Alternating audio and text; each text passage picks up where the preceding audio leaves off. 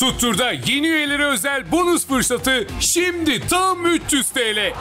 Yorumlardaki linke tıkla Tuttur'a üye ol, fırsatı kaçırma.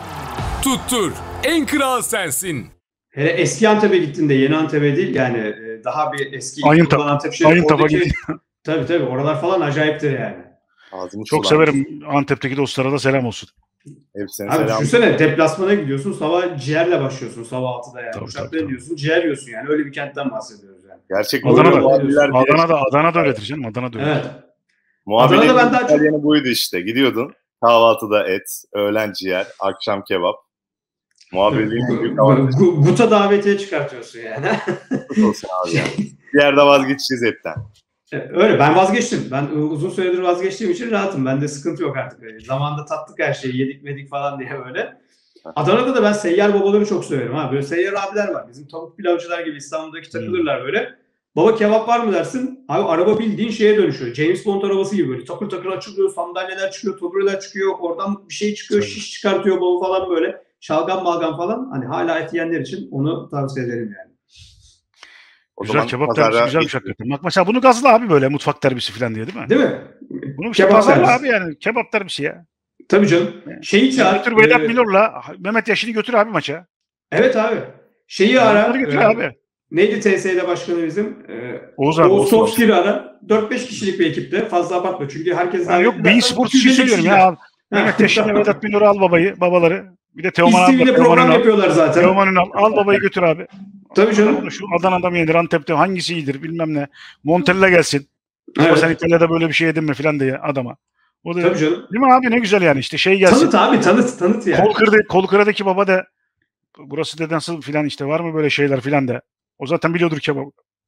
Aşağı Kesin yukarı ama mutfağıyla tanışıyor, tanışmıştır. Al sana hikaye abi işte. Otur Evet izleyelim abi. Ama işte akıl etmek gerek öncelikle kebap Evet. Ama. Me- Mehmet Yaşın abiden korkuyorum ben yani. Bir gün Hastasıyım ya. Türk güzel. en kıskandığım adam yemin ediyorum. İnanılmaz. Medya tarihinde en çok kıskandığım adam o. baba gurme değil çünkü yiyici. Yani bak şimdi Tabii gurmeyle yiyici damak fark vardır. Hmm yapıyor. Mesela Teoman abi de Teoman abi belli yani o böyle alıyor hmm, bakıyor O klas. anlatıyor. Hani baba götürüyor Ama- önce ondan sonra ondan sonra. Ama Mehmet abiye ayak uydurmak için bayağı kilo aldı Teoman abi. Adam ilk başladığında pembe gömlekler falan giyiyordu böyle daha bir Abi. Mehmet abi mesela şey falan. yani. Ya Teoman abi şeye gidiyor. Normandiya'ya yok İstiridye'ye bilmem ne. Baba hiç oralara hiç olmuyor babanın. Mehmet abi- yani. Mehmet abi ekmek aracısı. ekmek aracı. abi Cem Yılmaz anlatıyor ya bir gurme bir tabak daha ister mi abi? Şundan bir tabak daha alayım canım diye gitti restoran. Harika bir insan ya. Çok seviyorum Mehmet Yaşin'i. Teoman Ünal'ı, Vedat Milor'u üçünün de hastasıyım.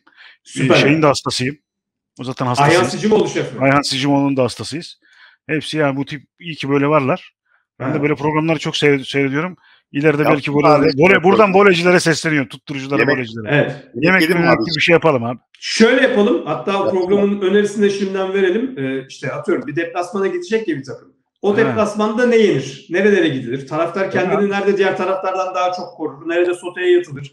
Rakip taraftar nerede soteye yatar falan gibi böyle bir deplase övgüler programı çekelim oraya. Türk abi şeyde- sponsor olur yani. İngiltere'de e, böyle bir şey var. e, blok var yani. Bir blok hatta. Blok var. Hı. Yani işte e, deplasmanda şu şu şu publara gitmeyin. Tabii Efendim, sopayı yersin. Ha, o, şunlara gidin. İşte şunu da şöyle yapın. Ya da illa kavga edeceksen de şunu da edin falan. Hani öyle öyle bloklar var yani. Şimdi Evet. aslında bizim de böyle güzel şeyler yapmamız lazım. Ne derler onun adına? Bu tip programlar yapmamız lazım. Yeme içme konusuna da çok girdik. Evet. Canım çekti anasını satayım. Şimdi Benim de. Neyse güzel maç olsun. Abi ben zaman- kışın e, demir yoluyla gidilebilecek her yere e, programa ben gelirim. E, kışın bende uçak büyük sıkıntı baba yani. Programı Niye çekemeyiz uçağa binersen. Kışın hiçbir Ha, sıkıntı sıkıntı. olmaz uçakta. Uçakta sıkıntı. Mevsim dönüşümünde olur. Abi Sonbahar, ilkbahar. uçak sallandı mı benim beynim sallanıyor yani. Bende şey oluyor. İşte kışın de- sallanmaz abi onu diyorum. Ben her gün Ben çok sallandım abi. Ha anladım. Abi. Ambulanslara. Girdik çok girdik türbülansa. Pazar 7. haftada pazar gününe gidelim. Pazar günü değişik bir maç. Fenerbahçe ile 6. haftada karşılaşacak olan Giresunspor Galatasaray'ı 3-0'la geçen Kayseri Spor'u konuk edecek. Hoca değişikliği olur mu burada? Ona da bakmak lazım. Aslında yediği konuşurken... Fener maçından sonra Fener maçından sonra olmaz. Sonra bu maçtan sonra olur, olur olursa. Bence e, bu maça e, Giresunspor yardımcı antrenörü veyahut da altyapı antrenörüyle çıkacak. Pazar günkü maçtan bahsediyorum. Fenerbahçe maçını oynadıktan sonra. Siz Hakan Ee, gönderdiniz olur mu öyle şey ya? Fener yenmedi diye Fener yenmedi diye hocayı gönderirler mi abi? Yok hani böyle şey e, belirli bir haftalarda bakarsın suyun ısındığını hissedersin ya. E, bence o e, suyun ısınma durumu var. Yani Hakan Kereş şeye geldik kaynama noktasında şu anda. Valla E, Hakan Keleş iyi bir Hakan Keleş olabilir. Doğru da hani abi kadro iyi değil abi. Yani onu onu bir iyi çözmek lazım yani. evet. Tamam belki bu bu kadar da değil ama iyi de değil yani. Yani biraz Neyse, daha ben- idealist ben- yabancı bir teknik direktör gelecek gibi hissediyorum. belki öyle. Kayseri'den Kayseri maçından sonra belki olur. Evet. Tahminler Ee, maç için? Yani Kayseri tabii- kazanır bence. Bence de kazanır ama tabii Giresunspor'un Fenerbahçe maçından nasıl çıkacağını derken sadece mağlubiyet, galibiyet, beraberlik veya da gol attın atmadığın anlamında değil. Hani bir cezalı olacak mı olmayacak mı? Şu anda önümüzde oynanmamış bir maçın biz e, tekrar senaryosunu yazmaya çalışıyoruz. Onu baştan söyleyeyim. Hangi moralle gelecekler, hangi ekiple gelecekler?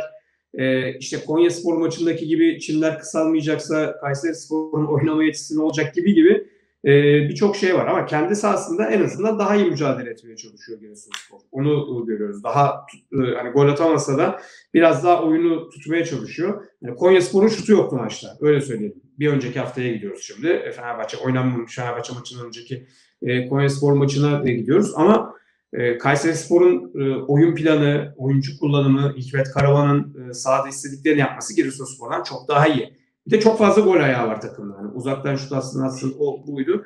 Ben de e, Kayseri Spor galibiyeti bekliyorum. Kayseri Spor'un tek dezavantajı Galatasaray maçı galibiyetinden sonraki rehavet olur.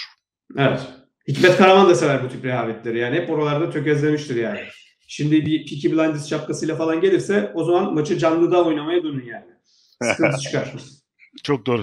Hikmet Bielsa hocam Hikmet Bey şeye hocam. bağlarsa hani yeni bir Tabii. felsefeye falan bağlarsa o zaman, o, o zaman olmaz. sıkıntı. O zaman Teoman sıkıntı abi gibi olabilir. çıkarsa büyük sıkıntı çıkar. Yani Evet, evet. Karaman'ın maçları hep Mehmet Yaşın gibi çıkması gerekiyor. Çok güzel, çok güzel. Ha, tamam öyle söyleyeyim yani. Teoman abi gibi çıkarsa Giresun kazanır o zaman yani. evet.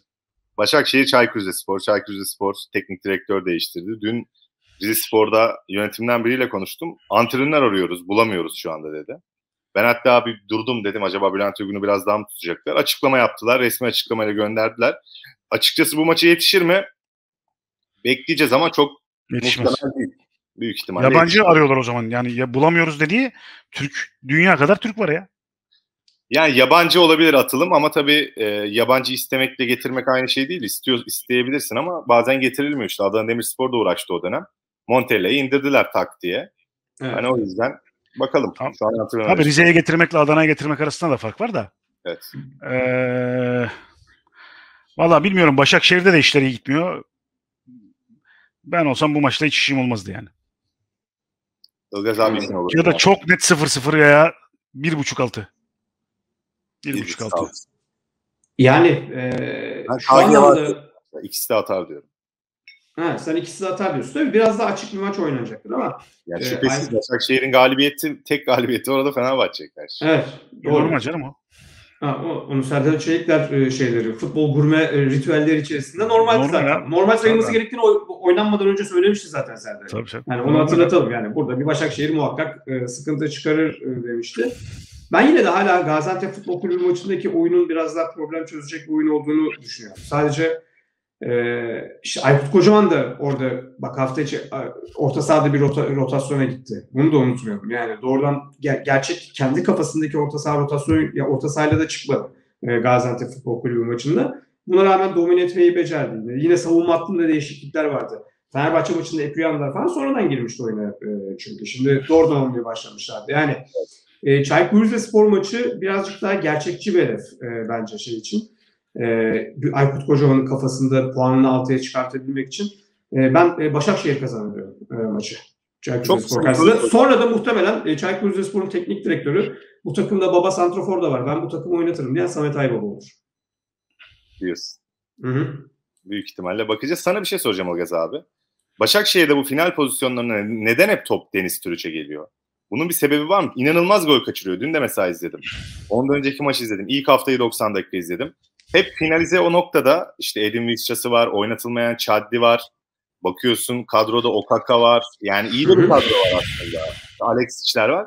Ama o finalize noktasında hep Deniz Türüç son noktada başrol oyuncusu oluyor. Yani çok kaçırıyorlar. Şimdi şöyle söyleyeyim, bu bir taraftan bakınca iyi bir nokta. Yani senin planlarının işlediğini de gösterir. Buna göre bir plan kurduğunu gösterir. Bu doğru taraftan bakılması gerekiyor. Yani bir şey daha pozitif olarak bakalım.